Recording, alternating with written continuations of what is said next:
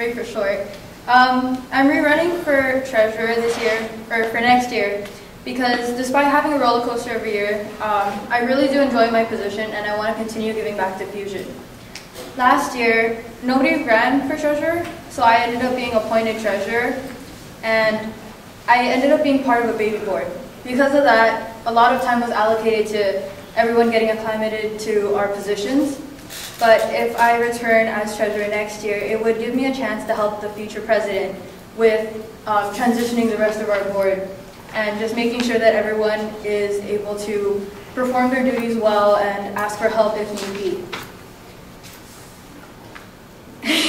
Sorry. Um, a few of the things that I've learned as treasurer this year was that um, it's really important to have a lot of teamwork, communication, organization, and time all of which I've learned is very important in order to have a very successful event, fundraiser meeting, and even um, just a club overall. My goal in being treasurer next year is to bring more creative ways of raising money, like how we had our um, potluck after event when we had the Poseid panel. Another goal of mine would be to have more outside fundraisers, which was um, something we were supposed to do this year, but there was um, an issue with the tax ID, which we now have more information, which I hope to be able to continue to work on as treasurer next year. Another goal of mine is to be able to improve our systems of um, uh, improve our system of fundraisers in which like replacing things I need to replace like our canopy, the pans, like uh, tables, whatever it is, um, as well as making it more smooth in terms of like um, who's going where, scheduling, um, even just like the organization of the storage rooms. Um, at the end of it all, I really just hope that I can have, or I can provide Fusion with another enjoyable and successful year next year. Um, so you're on board this year. Uh, what weaknesses did you discover while being on board this year, and how can you improve that for uh, next year? So some weaknesses of mine that I noticed, especially first starting off, was that I'm not very good at speaking in front of crowds. but as time went on and like um, as I had to host more meetings and um, host more fundraisers and more, um, I started developing more confidence and being able to like stand up here and talk to people without like being so nervous or being very jittery and just like, yeah. Um, another thing I noticed in the beginning was um, my time management skills. I thought it, I thought I had very good management skills in that sense in the beginning, but it wasn't until I had to juggle like hosting all the fundraisers and the scheduling and everything like that um, that I realized I needed to improve, and I did. But I'm hoping I could improve more by being treasurer again next year. Um, if you were not to get this role as treasurer, what would your role be? Since this is the only position I'm running for next year, um, I wouldn't be a board member, but I would still be available um, to help mentor and assist the board of next year, regardless of if it's my successor or not. Last one, anyone else?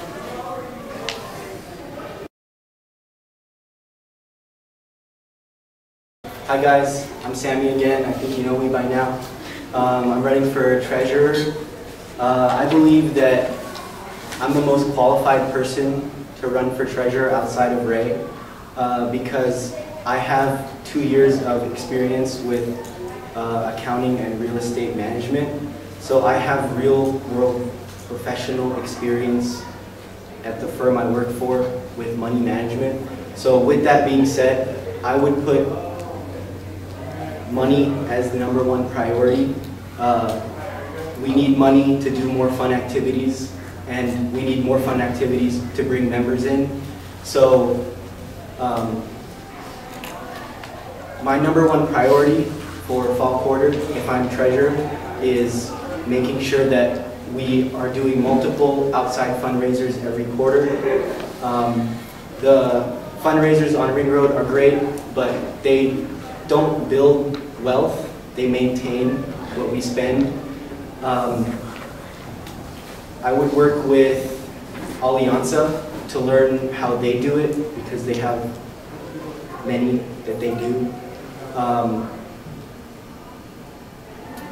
other than that, other than working with activities to make sure that whoever is running activities is well-funded. Um, Other than the fundraisers, I would make sure that our bacon wrapped hot dog fundraisers are running more smoothly. Since I do have a car, I would be the most valuable treasurer to board.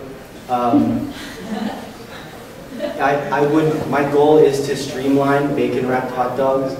Uh, As an intern who um, attended multiple board meetings, it, it was always a struggle for board to figure out um, really the process every quarter with new dates for bacon wrapped hot dogs selling.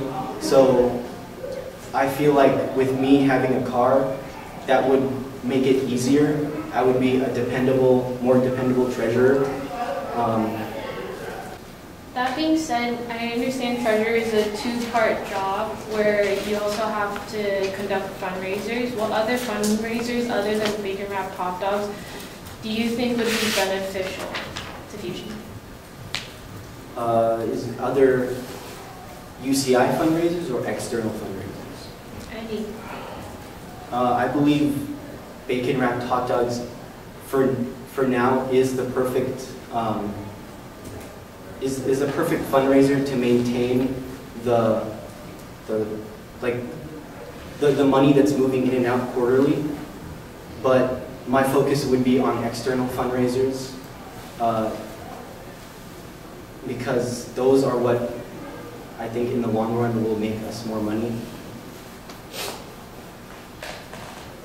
Um, if you're doing a fundraiser and you find that your members are uncommunicative or they're not showing up at the time that they're supposed to, how would you deal with it? Um,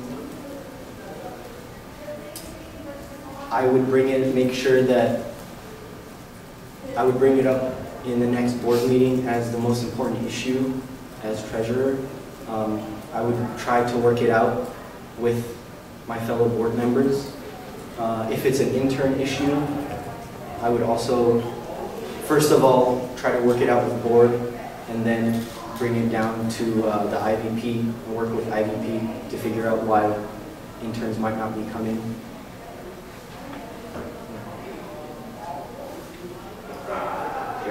Uh, so you're running for three positions, which one do you want?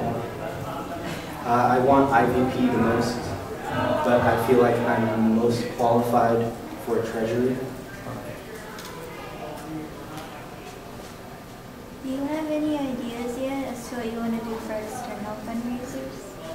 Uh, well, external fundraisers mostly run as we would partner with like Lollicup and they would give us a percentage after a certain period of time.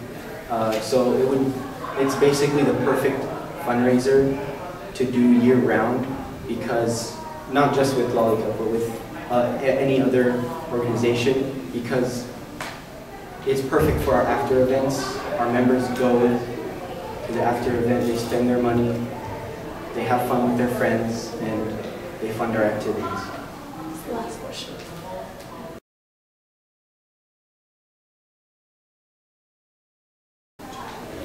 So holding fundraisers, earning money on campus, off campus, that's great. Um, But being treasurer, generally the main issue with maintaining the club and having funds is more about the spending rather than earning the money. Um, So with different activities happening, uh, coordinated by different board members, how would you control things like what materials and supplies you spend the money on? Um, That, that's a question that would be brought up at every brainstorming session at board meeting, uh, when we're thinking of what activity we want to do. At planning meeting, when we're thinking of the activities that uh, we want to do for the quarter. So as treasurer, when we're planning out the quarter, I would make sure to, before I come into the meeting, to work with activities and to decide on what activities we want to bring into meeting and then budget from there before we even vote on what activities we want to do for the quarter. Um, so, being on board this year, I noticed that a lot of things are not planned ahead of time so far as like to planning meetings themselves because you can't really plan a whole quarter in one meeting. That would take insane amount of time.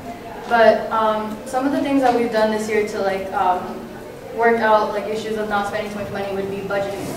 So we would limit like um, general meetings to twenty dollars of a budget, um, and for different events, depending on what kind of events they are, each event has a budget.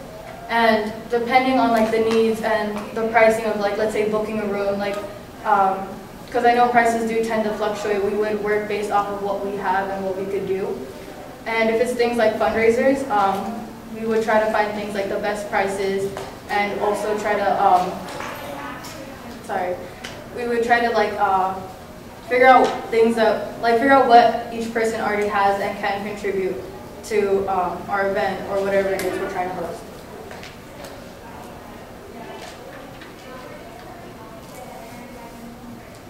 Um, I think this is just in general, but say you can't find a driver or a car to get the supplies you need.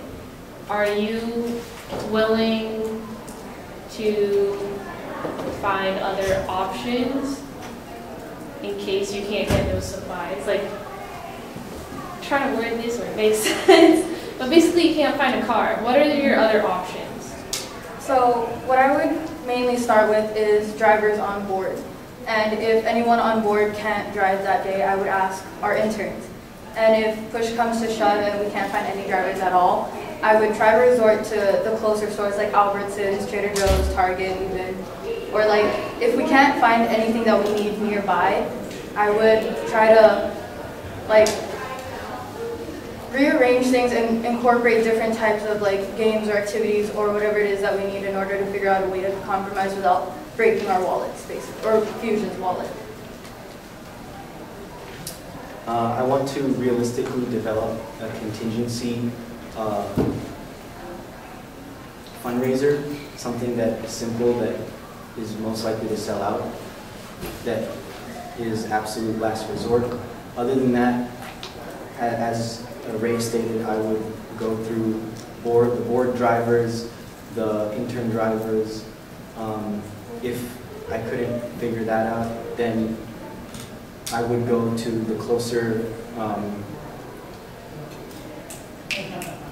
closer stores, and then last, last option would be a, a, a- an alternative fundraiser that is cheaper and is easier to go.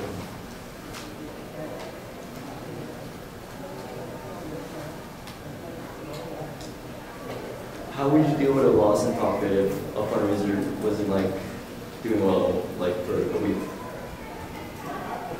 Um, that should never be an issue other than, uh, for some, like somehow there is a bad day where no one wants bacon wrapped hot dogs. Um, because as I stated in my, uh, personal speech, I want to streamline the, the bacon wrapped hot dog kind of development process every week. Um, So I want to make it a little cheaper to gather everything, um, to, I want to streamline the supplies as well with some brainstorming. So if there, if there's ever a day where, like, for the off chance we lose more money than we profit, or it's just not as profitable as we normally um, are, I would try to find um, outside fundraisers or even just like um, like week-long fundraisers that we could um, incorporate into like the off weeks that we don't have fundraisers or just like in between other events like midterm weeks or like final finals week. So that even though like people normally don't have time to like go out of their way to get a bacon wrapped hot dog they can still get something like boba from chaw or like um, a burrito from like chipotle or something that would contribute to giving us more money that doesn't require us to spend a lot more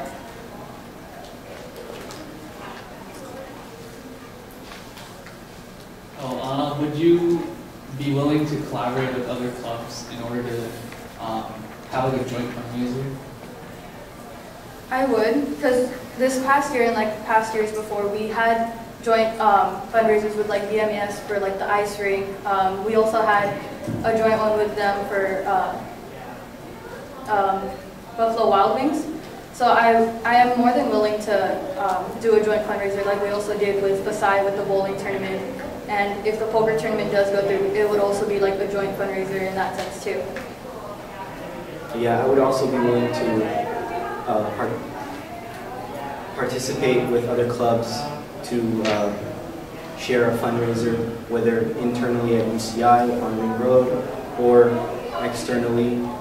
Um, I would I would much rather prefer to try doing um, a Ring Road fundraiser with another club and share the profits. We, that could be something that is that's really big, a really big event uh, that we could merge two clubs for a week